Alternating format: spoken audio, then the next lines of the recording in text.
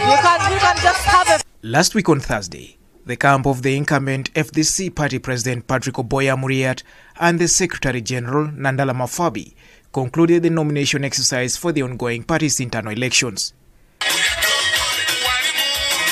Giving an update today, the Paris electoral commission boss, Boniface Toterebuka Bamwenda, has confirmed that out of the 58 national executive committee positions, they have registered 34 candidates as unopposed, meaning that they are only left with 24 positions where they will hold elections. At the end of the nominations on Thursday, 21st September, the Electoral Commission verified the return forms, nominated 76 candidates. Nandala Mafabi went through as unopposed. Jack Sabiti, who was also nominated for the position of the party's chairman seeking to replace embattled Waswa Birigwa, also went through unopposed.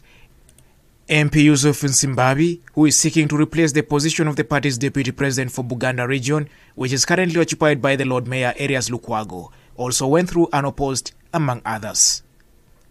For the highest office of president, we have two people there, Byamugisha Moses and engineer Patrick Oboi Amuriat. We have those who have already passed through. Deputy President Buganda, Honorable Yusuf Nsibambi, Deputy President North, Honorable Kaps Fungaroo, Deputy President East, Wokuri Madanda Margaret, Deputy President West, pending verification. The incumbent party president Patrick Amuriat Oboi is among the 24 who are still in the race. He will have to tussle it out with other members during the party's delegates conference. According to the party's roadmap, the campaigns have started today and they will be concluded on the 4th of October. The candidates have been allowed to campaign beginning from today, the 25th, up to the 4th of October 2023, and should have town hall meetings with delegates and no use of money to influence the voters. Stringent regulations have been issued to the candidates to ensure smooth election exercise.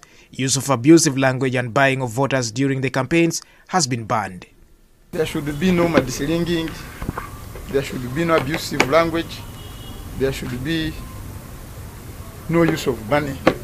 It's just a family affair. We want to complete it the way we started it.